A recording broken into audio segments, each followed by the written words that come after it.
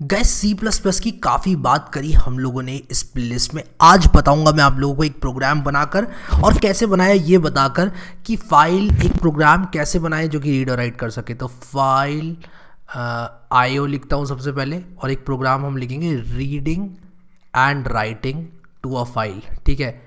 तो यहाँ पर सी प्लस प्लस में हम लोग एक प्रोग्राम लिखेंगे जो कि फ़ाइल को रीड करेगा और फ़ाइल को राइट भी करेगा। थोड़ा सा क्विक रिवीजन क्विक रिवीजन जल्दी से कराना चाहूँगा। और क्विक रिवीजन ये है कि हमारे पास तीन यूज़फुल क्लासेस होती हैं। यहाँ पर लिख देता हूँ स्टार लगाकर। थ्री यूज़फुल क्लासेस हमारे पास सी प्लस प्लस में तीन यूज़फुल क्लासेस होती हैं। पहली यूज़फुल क्लास कौन सी होती है हमारे पास? एफ़ स्ट्रीम बेस तो यहाँ पर मैं लिख देता हूँ एफ़ स्ट्रीम बेस क्लास और दूसरी होती है हमारे पास इफ़ स्ट्रीम और एक और होती है हमारे पास ऑफ़ स्ट्रीम ठीक है? अब ये जो इफ़ स्ट्रीम होती है, ये डिराइव्ड होती है, ये जो एफ़ स्ट्रीम बेस है इससे, ठीक, यहाँ पे लिख देता हूँ मैं, ठीक है? डिराइव्ड फ्रॉम मैं वन लिख देता हूँ, यार इतना बड़ा कहाँ लिखूँगा एफ़ स्ट्रीम बेस और ये भी मेरा डिराइव्ड फ्रॉम यहाँ पर मैं वन लिख देता हूँ। तो ये भी एफ़ स्ट्रीम बेस से डिराइव्ड है, ये भी एफ़ स्ट्रीम बेस से डिवाइड है, ठीक है? सो इस तरह से आप लोग जो है, इन क्लासेस को यूज़ कर सकते हो। और ये क्लासेस आती कहाँ से हैं? ये तीनों की तीनों क्लासेस मैं आप लोगों को बताना चाहूँगा कि आती हैं हमारी एक हेडर फ़ाइल से जिसका नाम होता है एफ़ स्ट्रीम ठीक है? तो आप हैश इंक्लूड एफ़ स्ट्रीम करके इसको इंक्लूड कर सकते हो और इसके अंदर ये सारी की सारी क्लासेस होती हैं, ठीक है? पिछले वीडियो में हम लोगों ने ये देखा था कि हम सी आउट की तरह ही एक फ़ाइल के अंदर, हम हम इनफैक्ट फ़ाइल से ले सकते हैं डेटा सी इन से, जैसे हम लोग एक कीबोर्ड से डेटा लेते हैं। हम सी आउट की सहायता से जिस तरह से जो हमारा मॉनिटर है, उस पर डेटा डिस्प्ले कराते हैं from program to our display device हम कुछ इस तरह से राइट ऑपरेशन कर सकते हैं फ़ाइल में। तो मैं एक और स्टार लगाऊँगा। सबसे पहले रीड ऑपरेशन करते हैं कि फ़ाइल को सबसे पहले रीड करेंगे। कुछ भी आप कर सकते हो पहले, मैं यहाँ पर लिख देता हूँ रीड ऑपरेशन रीड ऑपरेशन करने के लिए आप लोग क्या करोगे कि आप लोग यहाँ पर इफ़ स्ट्रीम का एक ऑब्जेक्ट बनाओगे, आप लिखोगे इफ़ स्ट्रीम और यहाँ पर मैं इसका नाम इन रख रहा हूँ, लेकिन कुछ भी नाम आप ले सकते हो। फ़ाइल का नाम मान लो this dot T X T है। This dot T X T file का नाम है और this dot T X T लिखने के बाद यहाँ पर मैं एक सामी कॉलन लगा दूँगा और अब मैं अगर चाहता हूँ कि मैं एक स्ट्रिंग के अंदर एक स्ट्रिंग के अंदर मैं इसके डेटा को लेकर आऊँ तो मैं क्या करूँगा? मैं यहाँ पर सबसे पहले तो एक बना दूँगा स्ट्रिंग में तो मैं सी प्लस प्लस में सबसे पहले एक स्ट्रिंग बना दूँगा, उसका नाम एस टी रख देता हूँ, फिर मैं यहाँ पर लिख दूँगा कुछ इस तरह से, मैं कह दूँगा इन एस टी ये बिल्कुल सी इन की तरह काम करता है, ठीक है? जस्ट लाइक सी इन लिख देता हूँ जस्ट लाइक सी इन सी इन तो यार हमने यूज़ किया ही है, और एक और हमारा राइट ऑपरेशन होता है, ठीक है? उसी तरह हमारा जो ये वाला राइट ऑपरेशन है, ये हमको फैसिलिटेट करता है एक फ़ाइल में राइट करने के लिए। ऑफ़ स्ट्रीम का एक ऑब्जेक्ट बनाऊँगा, यहाँ पर लिख देता हूँ ऑफ़ स्ट्रीम नाम कुछ भी रख सकते हैं आउट इसलिए रख रहा हूँ ताकि आपको पता चले कि भाई सी आउट की तरह ये, इसलिए आउट रख रहा हूँ। आप अपना नाम भी डाल सकते हो यहाँ पर, ठीक है? और यहाँ पर फ़ाइल का नाम लिख देते हैं। फ़ाइल का नाम है, मान लो फ़ाइल का नाम मानो this dot T X T ही है, इस पर मैं राइट कर रहा हूँ this dot T X T मैंने यहाँ पर लिखा। और this dot T X T यहाँ पर कुछ इस तरह से लिखने के बाद मैं क्या करूँगा यहाँ पर लिख दूँगा आउट और आउट के बाद कुछ इस तरह से मैं एस टी लिख दूँगा, ठीक है? तो मैंने यहाँ पर क्या किया? सबसे पहले मैंने एक जो हमारा ये ऑफ़ स्ट्रीम का ऑब्जेक्ट बनाया आउट मैं इस फ़ाइल में राइट करना चाहता था, लेकिन क्या राइट करना चाहता था? मैं एस टी राइट करना चाहता था। तो मैं यहाँ पर एक चीज़ और लिख देता हूँ string S T is equal to कुछ ऐसे मैं लिख देता हूँ यहाँ पर, इसको थोड़ा नीचे शिफ्ट कर देता हूँ। तो मैंने इसको थोड़ा सा नीचे शिफ्ट कर दिया ऑफ़ स्ट्रीम आउट लिखा और यहाँ पर मैं भी क्या करूँगा, एक स्ट्रिंग बना लूँगा। मैं एक्चुअली एक स्ट्रिंग बनाना चाहता था तो मैं यहाँ पे लिख दूँगा कुछ इस तरह से string S T is equal to मान लो मैंने हैरी लिख दिया, ठीक है? तो string S T is equal to Harry मैंने यहाँ पर लिख दिया और मैंने फिर कह दिया आउट एस टी उससे क्या होगा, ये राइट कर देगा, बिल्कुल सी आउट की तरह। ये लेकिन फ़ाइल में राइट करेगा। सी आउट क्या करता है, आपकी जो डिस्प्ले डिवाइस है उस पर राइट करता है। मैं लिख देता हूँ writes to a file T ये जो हमारी this dot T X T file है, इस पर राइट कर देगा। लेकिन जब तक हम लोग प्रोग्राम नहीं बनाएँगे ना प्रोग्राम जब तक हम लोग नहीं बनाएँगे, तब तक हमें मज़ा नहीं आएगा। मैं चाहता हूँ कि आप लोग इसका स्क्रीनशॉट ले लो, क्योंकि ये जो इन्फॉर्मेशन मैंने लिखी है, काफ़ी यूज़फुल है। वैसे मैंने साइट पर भी डाली हुई है इन्फॉर्मेशन आप वहाँ पर भी जाके देख सकते हो। सोर्स कोड जो मैं लिखता हूँ और जो इन्फॉर्मेशन मैं यहाँ पे दे रहा हूँ, ये सब टाइप्ड फॉर्म में आपको मिल जाएगी साइट पे। बट अगेन इन केस अगर आप लोग चाहते हो कि आप लोग इस कंटेंट का स्क्रीनशॉट लेना चाहते हो यहाँ पर, इस पर्टिकुलर फ्रेम का तो ले सकते हो, ठीक है? अब हम चलेंगे अपने वी एस कोड में, वहाँ पर अब हम लोग कोड लिखेंगे और देखेंगे किस तरह से हम लोग जो हमारा फ़ाइल है उसको रीड राइट कर सकते हैं। ये जो हमारा इन इफ़ स्ट्रीम ऑब्जेक्ट का जो कंस्ट्रक्टर है, यानी कि इन का जो कंस्ट्रक्टर है, उसकी सहायता से और आउट के कंस्ट्रक्टर की सहायता से ऑफ़ स्ट्रीम ऑब्जेक्ट के कंस्ट्रक्टर की सहायता से, ठीक है? तो चलो यहाँ पर हम लोग अब वी एस कोड के अंदर चलते हैं। सो so गैज़ यहाँ पर जल्दी से एक फ़ाइल बनाएँगे, जिसका नाम मैं रखूँगा tut sixty one dot C P P और सी पी पी की बॉयलर प्लेट मैं यहाँ पर जल्दी से लगा दूँगा। यहाँ पर आप लोग देख सकते हो कि सेम फोल्डर में मेरे पास कुछ फाइल्स हैं। मैं एक काम करूँगा, यहाँ पर सैंपल सिक्सटी और सैंपल सिक्सटी बी इन फाइल्स का ही इस्तेमाल करूँगा। और सैंपल सिक्सटी और sample sixty B dot T T दो फाइल्स हैं जो कि सेम डायरेक्टरी में रखी हुई हैं, ठीक है? यहाँ पर मैं क्या करूँगा इंक्लूड कर लूँगा एफ़ स्ट्रीम को भी, ठीक है? ऐसा मैंने क्यों किया? क्योंकि मैं यूज़ करना चाहता हूँ अपने ऑफ़ स्ट्रीम और इफ़ स्ट्रीम को। सबसे पहले आप लोगों को मैं यहाँ पर बताता हूँ कि किस तरह से आप लोग एक फ़ाइल में राइट कर सकते हो, ठीक है? तो मैं यहाँ पर ऑफ़ स्ट्रीम का एक ऑब्जेक्ट बनाऊँगा और इस बार उसका नाम आउट नहीं दूँगा। उसका नाम मैं दूँगा एच आउट दूँगा एच फॉर हैरी ठीक है? कुछ भी दे सकते हो आप। मैं यहाँ पर बस ये बोल रहा हूँ कि कुछ और नाम भी दिया जा सकता है। Sample sixty dot T X T और जब हम ऐसा करते हैं ना हम क्या करते हैं? हम अपनी फ़ाइल को कनेक्ट कर रहे हैं किससे? इस स्ट्रीम से। किस स्ट्रीम से? एच आउट स्ट्रीम से। तो ये एक आउटपुट स्ट्रीम हमने बना ली। कुछ ऐसा समझ लो कि एक पाइप डाल दिया हमने। क्या कर दिया? पाइप डाल दिया। इस फ़ाइल से, इस प्रोग्राम में पाइप डाल दिया। अब डेटा फ्लो हो सकता है। किस डायरेक्शन में फ्लो होगा डेटा आप अगर आउटपुट फ़ाइल बना रहे हो तो from from this program to the file इस तरह से डेटा जनरेट होगा, ठीक है? अब अगर मान लो मैं आपसे कहूँ स्ट्रिंग नेम और कहूँ सी इन नेम तो आपका जो नाम है वो आ जाएगा, जो भी आप एंटर करोगे। और मैं एक काम और कर देता हूँ सी आउट लगा के आपसे ये कह देता हूँ एंटर योर नेम ठीक है?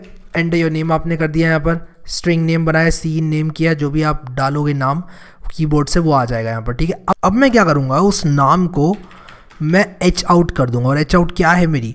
एच आउट मेरी यहाँ पर आउटपुट स्ट्रीम है, मैं सीधा फ़ाइल में लेके जा रहा हूँ इस डेटा को। मैं कहूँगा कि मैं इस नेम को लेकर जाना चाहता हूँ, इस फ़ाइल में और राइट करना चाहता हूँ। चलो, इस प्रोग्राम को देखते हैं, चलता है या नहीं चलता है।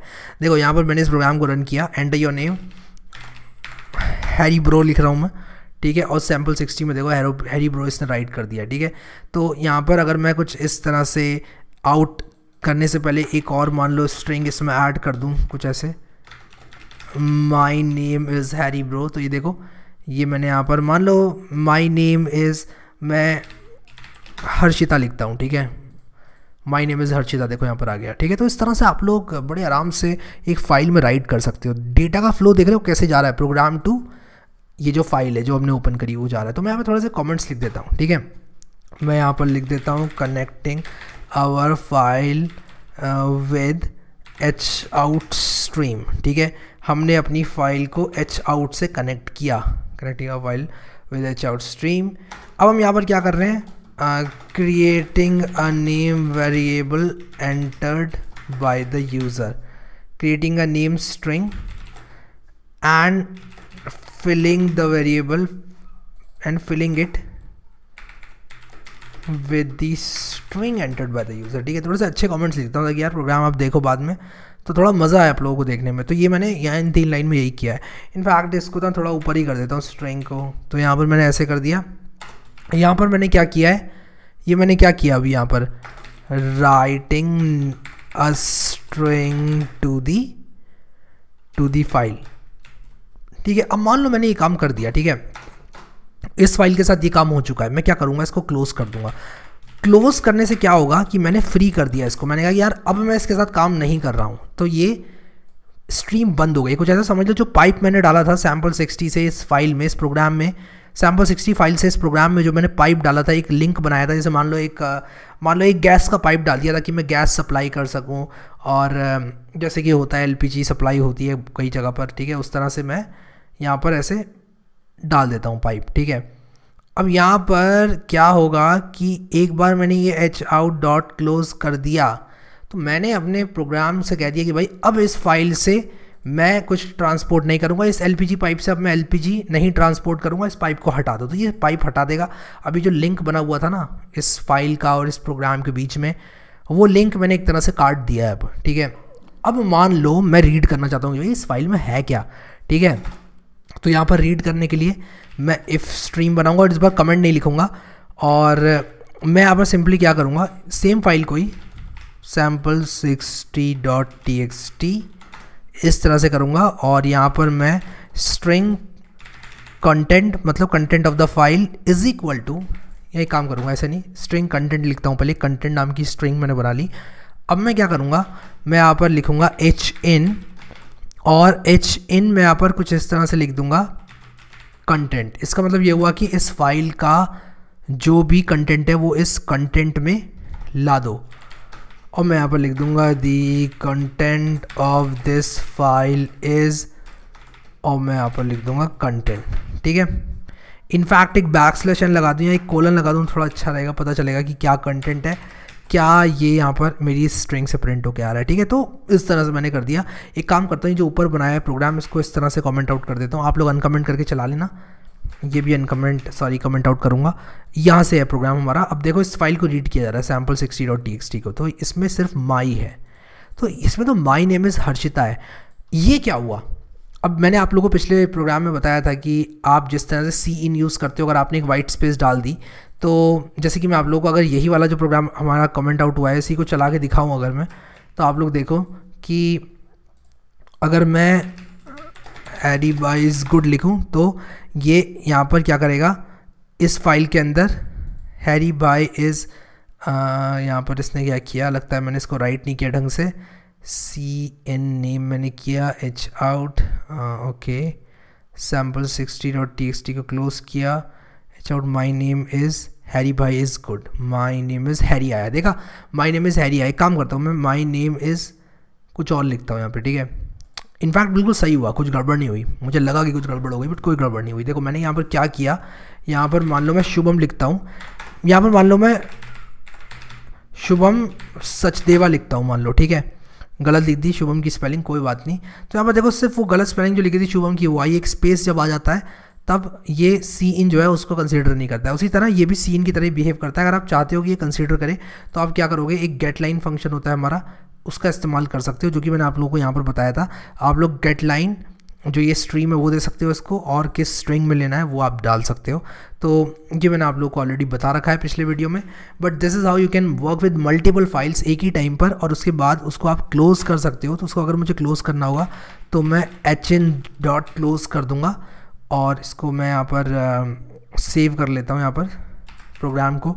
तो मैं एक ही प्रोग्राम में एक ही साथ, देखो यहाँ पर नेम डाल रहा हूँ हैरी तो इसने क्या किया, सबसे पहले राइट किया इसमें, फिर माई नेम इज़ हैरी किया। मैं एक काम करता हूँ माई नेम इज़ हैरी ना डालकर नेम इज़ हैरी डाल देता हूँ ऐसे। वैसे कुछ भी कर सकते हो आप, ऐसा कोई हार्ड एंड फास्ट रूल नहीं है। बट मैं इसलिए डाल रहा हूँ ताकि मेरा प्रोग्राम ना उसी हिसाब से बिहेव करेगा। देखो, जैसे मैं शुभम डालूँगा ना तो यहाँ पर मुझे शुभम के बाद स्पेस माई आ गया। शुभम का स्पेस माई इसलिए आया क्योंकि मैंने यहाँ पर स्पेस नहीं दी है।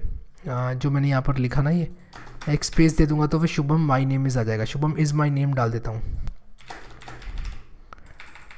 इज़ माई नेम ठीक है? रन किया enter your name Shubham Singh, सिर्फ़ शुभम आया, ठीक है? और अगर मैं यहाँ पर डाल दूँगा, Divya my name is the content of this file is Divya enter your name Divya तो यहाँ पर ये फ़ाइल में भी आ जाएगा दिव्या इज़ माई नेम ठीक है?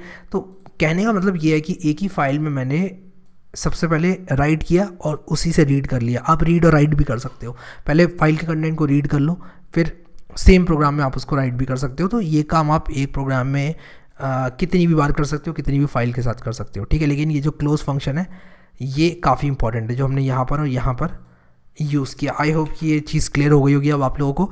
अगर आप लोगों ने सी प्लस प्लस की प्लेलिस्ट एक्सेस नहीं करी है तो आप लोग यार करो सी प्लस प्लस की प्ले लिस्ट एक्सेस और यार शेयर मारो इस प्ले लिस्ट को। इसमें सबसे कम शेयर्स हैं। ये प्ले लिस्ट एक ऐसी प्ले लिस्ट है जिसमें जिसको बहुत कम लोग देख रहे हैं और इसमें शेयर्स लाइक्स का जो वो है बहुत कम है। प्लीज़ अगर आप चाहते हो मैं इस तरह के अच्छे अच्छे वीडियोस बनाऊँ तो काफ़ी टॉपिक्स हैं जो कि अभी बचे हुए हैं। तो प्लीज़ इसको शेयर कर दो यार, ताकि मेरा भी जो हौसला रहता है, वो बना रहता है इन वीडियोज़ को कंटिन्यू करने का। मैं सारे वीडियोज़ सी प्लस प्लस के जल्दी कंप्लीट कर दूँगा बट प्लीज़ वीडियो को लाइक और शेयर ज़रूर करना। और उसी के साथ यार, बहुत जल्दी सिक्स हंड्रेड के होने वाले हैं, निन्यानवे के हैं। तो अगर आप लोगों ने सब्सक्राइब नहीं किया, बहुत सारे लोग नहीं देखते हैं सब्सक्राइब करते वीडियोज़ को तो आप लोग यार सब्सक्राइब कर दो, इसको छः सौ करवा दो जल्दी से। देखते हैं यार कितना टाइम लगता है but thank you so much guys for watching this video and I will see you next time.